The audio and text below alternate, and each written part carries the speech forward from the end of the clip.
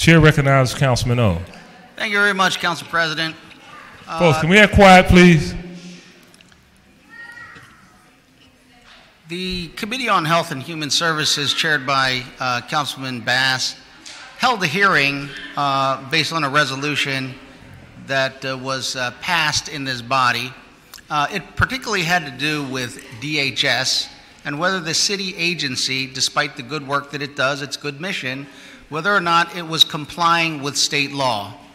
The issue is whether or not DHS as an organization routinely routinely and intentionally violates state law, the Child Protective Services law. And from what I've seen, it does, it has, and it justifies it. DHS is also the entity that educates mandated reporters in this city, and it routinely violates the law. So, under those circumstances, um, I think it is important to focus specifically on DHS. Uh, the mothers that are here today and the many, many mothers who have contacted my office and brought proof to my office have been going to their elected officials for years. This is not the first time that they've come to City Hall. I'm not the first elected official that they've been to. But they have come continuously and they have no confidence in this current system because despite all the evidence that they have presented, that I've seen medical records, photographs, videotape, uh, testimony all of those things, they have not been able to get a response, an appropriate response to their complaints.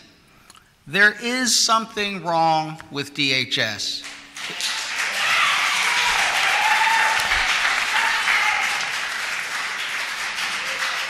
The biggest problem that I have with DHS is that DHS tells us there's absolutely nothing wrong with them.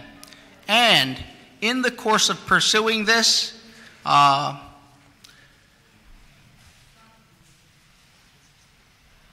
there have been threats made, threats intimated, that there will be retaliation that there will be, political consequences, all types of threats. And I wonder why. Why is that when all that we're doing is our duty to provide an oversight to an adminis- administrative agency that is responsible for protecting children? Why the threats? Why the problems? What I want to look at in this committee and not whitewash it, sugarcoat it, hide it, or persecute it. I want to look and see whether or not the agency is in compliance with the law. I will say that I have, in looking at the evidence, and I have about 50 mothers, mothers who have voluntarily been videotaped. They said, videotape me, we videotape them, we have that. They're not being videotaped and presenting evidence because they're hiding something. They are mostly not at fault mothers, which means they, they were never accused of doing anything wrong. They were never accused of being abusive or negligent. They, in most cases that they have come forward, it was determined by DHS that the allegations were unfounded. Yet, they have been denied their children for years. Their, their children are being placed in multiple foster care situations where they are abused, they have run away, they're depressed, they're medicated, they're sexually violated. And it continues. And then, when not at fault mothers, and no one has said they've done anything harmful to their children, comply with DHS get a GED, get a job, do everything they want. Two years later, DHS tells them, but we are putting your child up for permanent legal custody.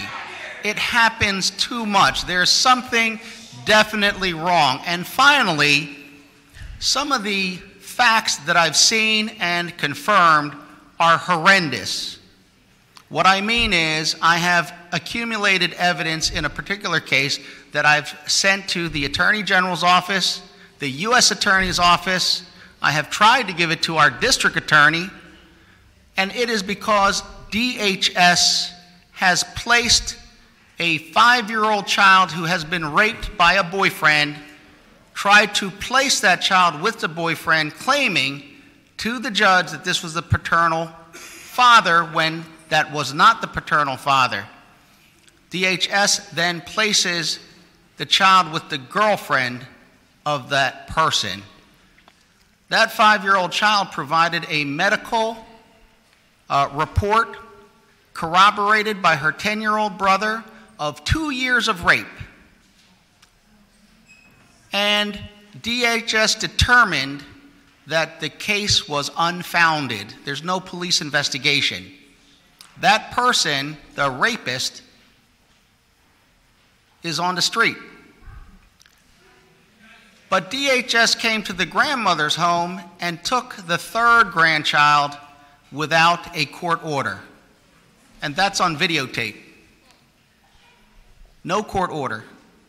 They handed a piece of paper, and when it was opened after taking the child in front of a police lieutenant and six police officers, that piece of paper was not a court order. Now, the judge, receiving a, a document from DHS, signed an order that the grandmother is to have no interaction with her three grandchildren. And now they have brought allegations against the grandmother as being mentally ill. This is not something that um, I think is just a general handling of this matter.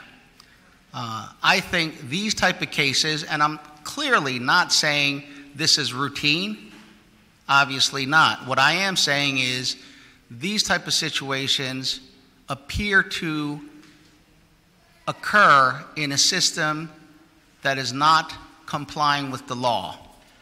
It does a lot of good things, but we cannot ignore the complaints of constituents all over our city who have brought evidence and continue to bring evidence to their elected representatives seeking help. I would ask all of the council members